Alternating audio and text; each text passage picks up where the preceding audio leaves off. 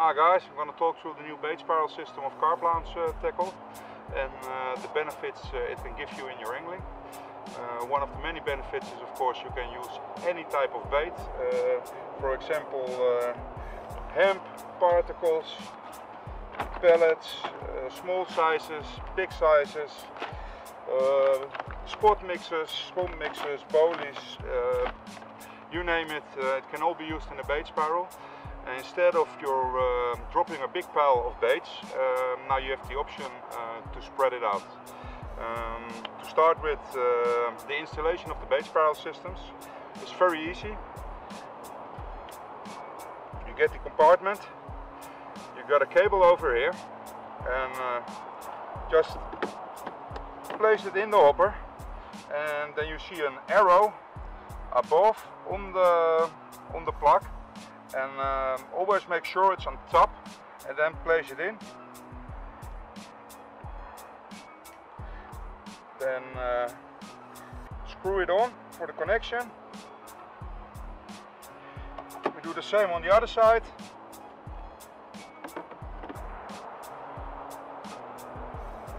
Place uh, the compartment on top of it. Push it on there. Same for the other side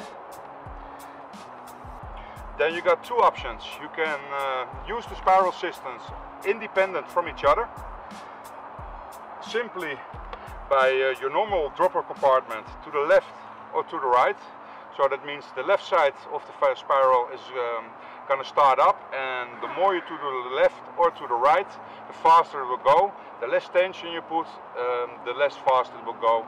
So uh, you will get a slow release of baits. Then the other option is when you look in your uh, battery compartment, they made a switch. When the switch is upwards, you can use the bait spirals independent and if you want to do a proper baiting up from your shrimps for example, uh, push the bottom that's in the middle in here downstairs and um, both the spirals will go exactly in the same speed uh, at once if you do it to the left or to the right, that doesn't matter. So that are the options and the way to control the bait spiral system. Uh, one of my favorite tactics is uh, instead of uh, dropping all your baits through the hopper compartment and you got one big pal,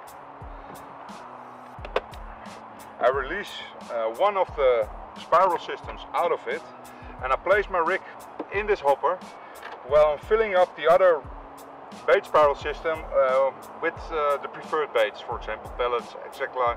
Everything I named uh, earlier. And I drop it and then I start spreading out the baits with the other bait spiral, uh, zigzagging over the water while you get a nice spreaded out bed and the carp have to move more to get the baits and in my opinion they will get more um, confidence because uh, you don't have one big pile of two and a half kilos or five kilos of baits like every bait boat does. So definitely that's gonna give you a big edge and um, try it out yourself.